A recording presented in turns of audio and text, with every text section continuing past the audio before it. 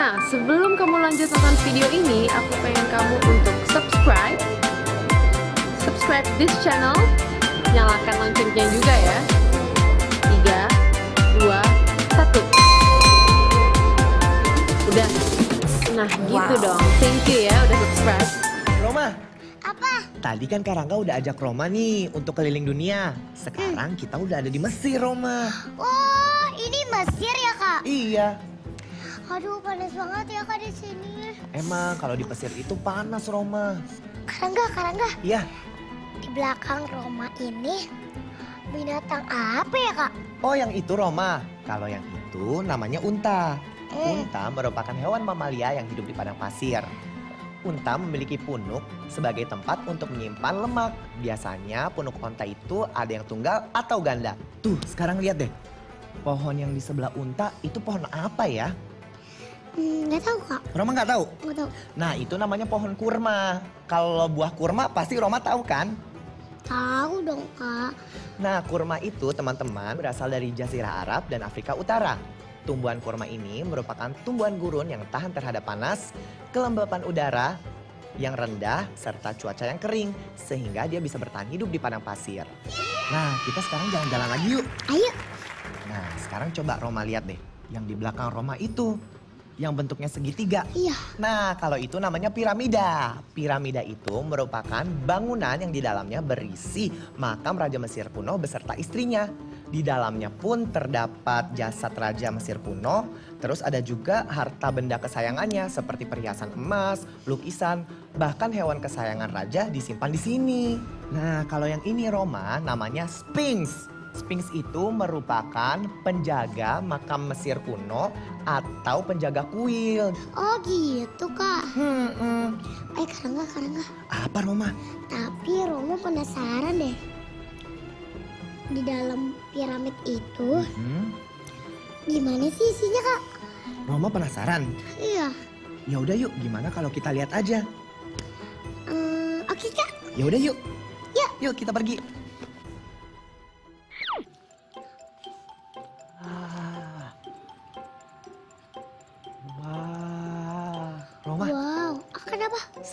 Kita udah ada di dalam piramida nih. Iya. Kayak yang Karangga bilang tadi, kalau di dalam sini itu isinya makam atau peti para raja. Gitu Roma. Oh gitu kak. Iya. Eh, coba kita buka peti yang itu yuk.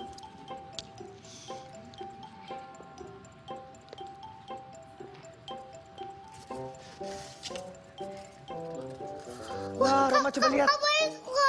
Ah, Kenapa? Aku takut nih.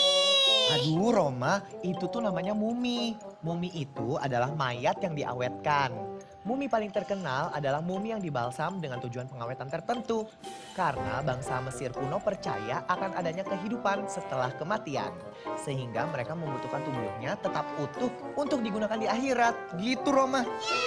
Terima kasih ya kak. Sama-sama. Udah ngajak Roma jalan-jalan. Kok Karangga juga jadi takut ya lama-lama. Ya udah kita pergi lihat-lihat yang lain yuk. Ayo, ayo. Hei. Tolong kipasin saya. Baik Ratu. Ajudan, apakah keadaan di luar aman? Aman Ratu. Dan kamu Dayang, Iya iya Ratu. tolong ambilkan saya anggur sekarang juga. Oh baik Ratu. Sebentar ya. Ini Ratu silakan dimakan.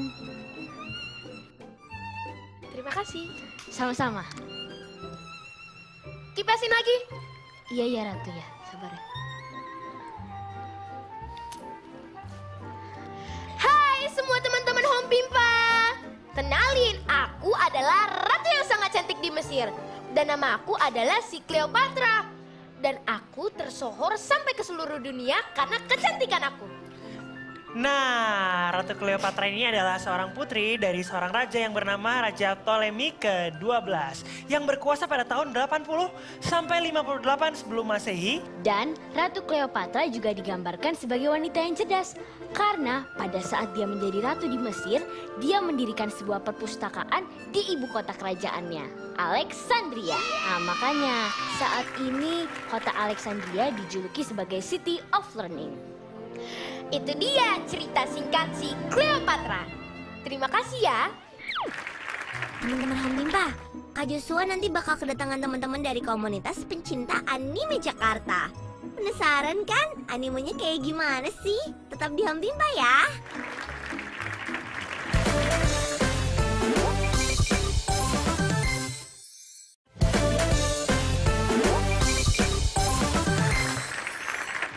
Teman-teman Homiba di rumah, kalian udah lihat Roma berkeliling dunia kan menggunakan balon udara. Nah di Pat-Pat Gulipat kali ini, Karangga akan membuat balon udara nih. Teman-teman, orang yang pertama kali membuat balon udara bernama Ferdinand Adolf. Pada tahun 1929, untuk pertama kalinya ia berkeliling dunia menggunakan balon udara buatannya. Nah teman-teman, Karangga jadi nggak sabar nih cepet-cepet pengen buat balon udara buatan Karangga sendiri. Teman-teman pengen tahu kan caranya seperti apa? Ya udah yuk, ikutin Karangga ya. Bahan-bahan yang diperlukan adalah penggaris, pembolong kertas, benang wol, kertas bekas, tisu, kuas cat, pensil, lem serbaguna, gunting, gelas kertas, balon, cat poster, pita, dan double tape. Teman-teman Hompimpa, untuk membuat balon udara kali ini, kita membutuhkan satu buah balon. Seperti ini nih, Karangga sudah membuatnya. Dan supaya balonnya tidak bergerak, Karangga taruh di bawah wadah. Nah, berikutnya yang harus kita lakukan adalah kita tempel seluruh bagian dari balon ini menggunakan kertas bekas yang sudah disobek atau digunting kotak-kotak. Gunting kertasnya berbentuk kotak. Tempelkan kertas bekasnya menggunakan cat poster. Teman-teman Hompimpa, setelah seluruh bagian balon ini kita lapisi dengan kertas bekas, hasilnya akan seperti ini. Langkah berikutnya yang harus kita lakukan adalah kita lapisi lagi menggunakan tisu.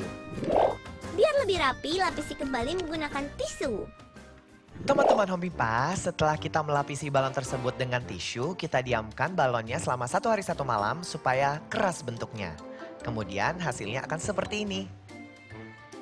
Setelah hasilnya keras seperti ini, langkah berikutnya yang kita lakukan adalah kita mewarnai balon ini.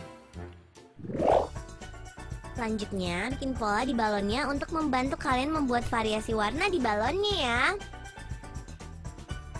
Warnai balonnya dengan warna sesuai selera kalian. Teman-teman Hompimpa, balon udara yang Karangga warnai tadi udah kering nih, hasilnya seperti ini. Nah, berikutnya yang harus kita lakukan adalah kita rapihkan bagian bawah balon udara, kemudian kita lubangi menggunakan dengan pembolong kertas. Rapikan bagian bawah balonnya menggunakan gunting. Lalu bolongi menggunakan pembolong kertas. Langkah berikutnya yang harus kita lakukan adalah membuat keranjangnya. Kita gunakan gelas kertas yang kita cat berwarna ungu. Warnai gelasnya sesuai warna yang kalian inginkan.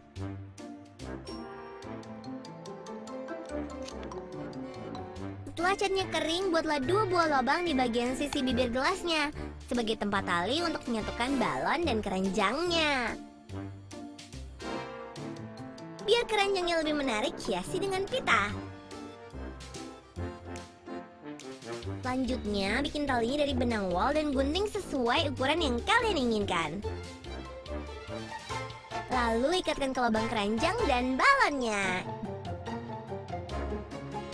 Jadi deh, balon udaranya siap terbang. Nah, teman-teman Hompimpa, balon udara buatan Karangga udah jadi deh. Tapi teman-teman, supaya balon udara ini bisa digantung, jangan lupa untuk membuat gantungannya dengan menggunakan benang wol seperti ini nih. Gimana? Gampang kan cara buatnya? Nah, buat teman-teman Hompimpa di rumah yang punya ide untuk membuat prakarya, bisa kirimkan ke alamat yang ada di bawah ini.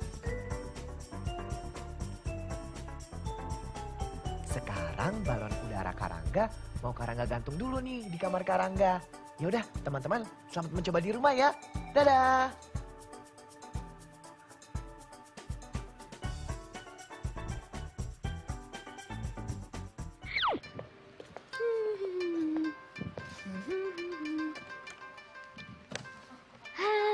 Konnichiwa teman-teman Hompimpa.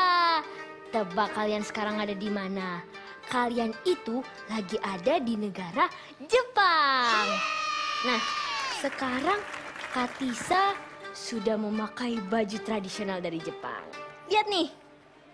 Namanya itu adalah kimono.